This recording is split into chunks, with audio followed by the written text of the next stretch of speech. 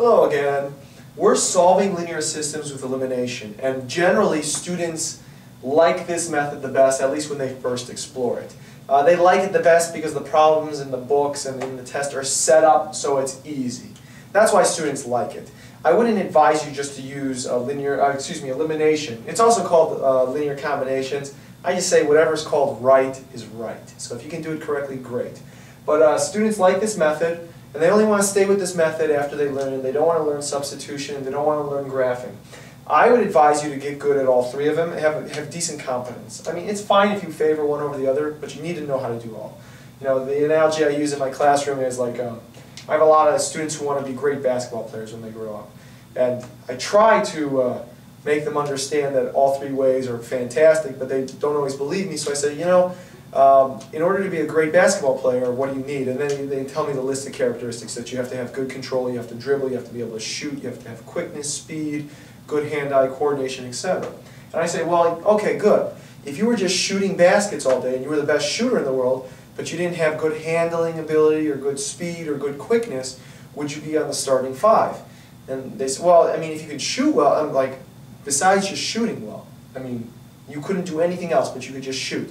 I'm like, well, maybe not. They say, exactly. I mean, if you want to be successful, you got to be good at everything you're doing in terms of solving linear systems. So, even though you might like elimination the best, you should focus on graphing and substitution as well. With that said, uh, don't mean to uh, drown down your hopes there, but you should be good at all three of them, not just one.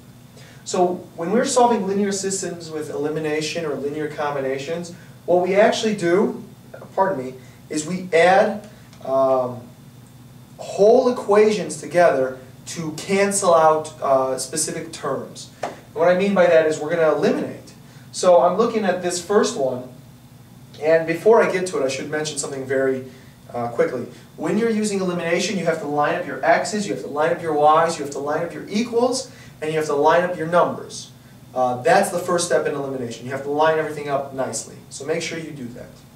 Well, this one is lined up very nicely.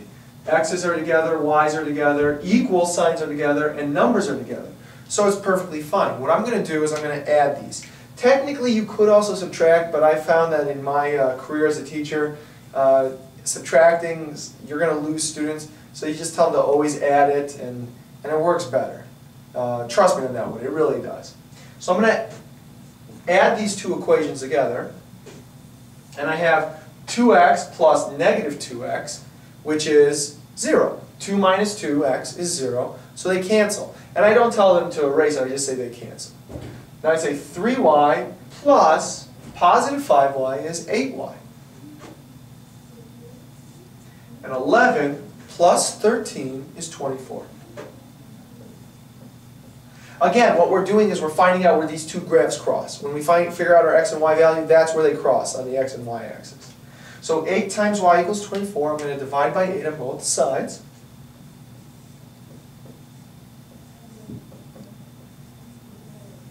y equals 3. Now all I do is I substitute this 3 in for a y into either one of the two equations. And then students ask, does it matter which one you pick? And I say, no. Uh, is it going to be easier or more difficult? And I said, depends what you figure out to be more easy or difficult. And then say, okay, I'm going to do it for this one. This one looks like it's easier. I'm like, good, good call. So we're going to substitute into the first one, but you could substitute into the second one. So 2x plus 3 times y, but y is 3, so it's 3 times 3 equals 11. That's 2x plus 9 equals 11. Subtract 9 on both sides and then excuse me, then divide by 2.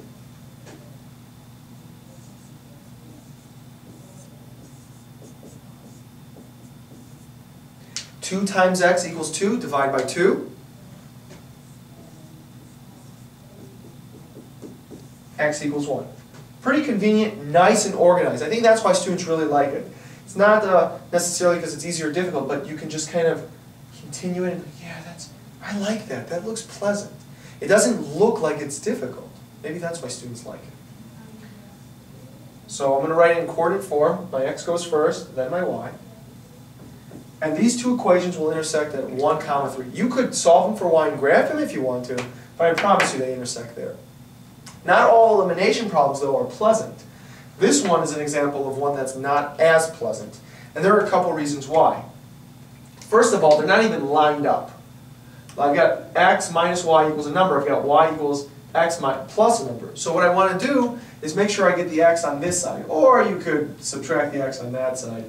But let's put all the x's on one side and get a set equal to the number. That's probably the best and easiest way.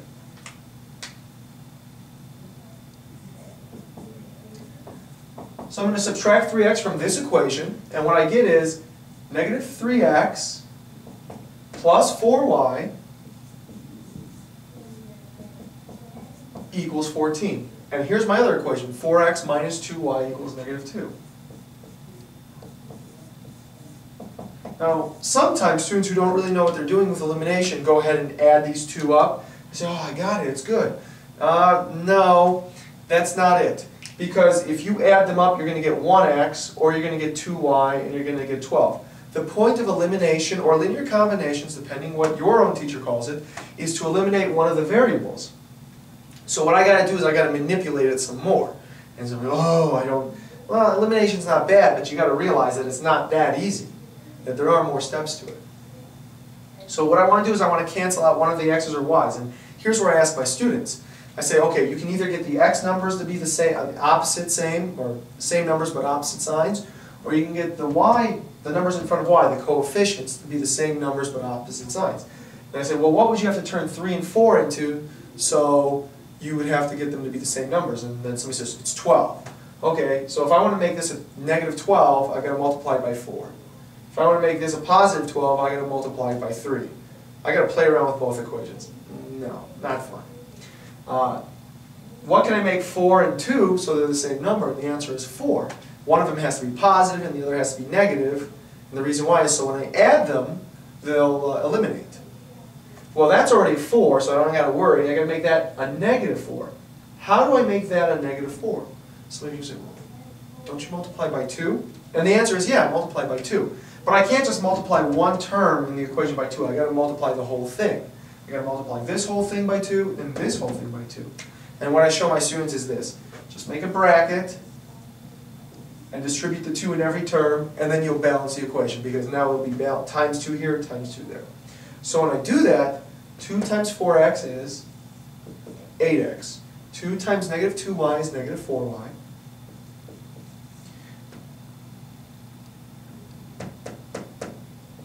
Don't forget the equals. A lot of students forget that. 2 times negative 2 is negative 4. So I rewrote this one. Finally, I'm going to rewrite this one.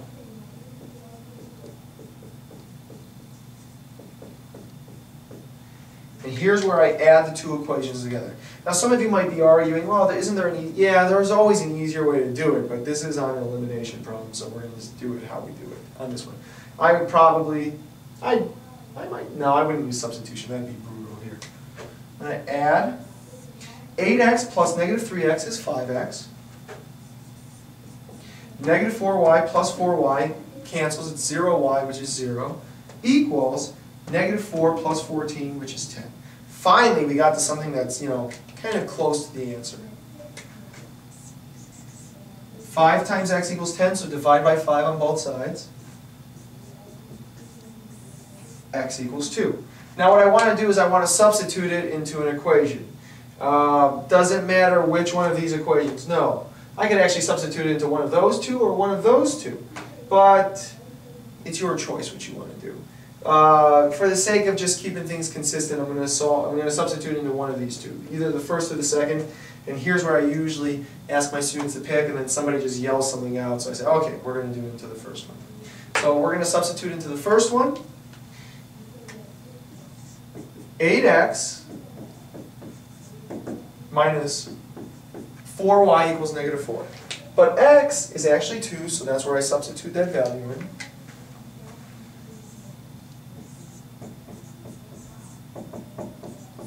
Eight times two minus four y equals negative four.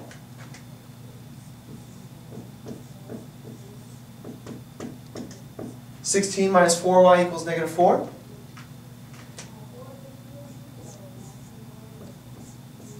Subtract 16 both sides, and here's where I'll actually have students make a mistake. Negative 4y equals negative 4 plus negative 16 is negative 20. A lot of times I'll get negative 12. And then student does all that work, messes up, and I have to take a point off. Divide by negative 4 on both sides. y equals negative divided by negative is a positive. 20 divided by 4 is 5. Some of you watching this might say, oh, I hate math. So boring or it's so difficult. This is why I hate it. I, I'm sympathetic to that too. I understand that you do all these steps just to get to this small answer. And it is annoying for a lot of students, especially if you do all this work and you mess up on one step. That's why you just have to have a clear understanding of how to do things carefully. And don't rush through the problem, just do it carefully. And if you have time, substitute back in. But I am sympathetic to the point of that. That's why if this problem were worth five or six points and you make a mistake there, I'd probably just take off half a point. But if you make your mistake early, then it kind of affects the whole problem. Uh, not the most pleasant elimination problem, but like I said, not all elimination problems are easy. Uh, my advice to you is you pick the one that you're most comfortable with. You, you have to be good at all three, but if the direction doesn't specify which one you have to solve by, you do what you think will be easiest. That's easier said than done. That takes practice in math. But still, you got to practice. Uh, with that said, I hope you found that helpful and not too, too difficult. But, you know, I understand that it's also just a little difficult at the same time. But, you, know, you got to keep trying. Okay, have a good day for now. Goodbye.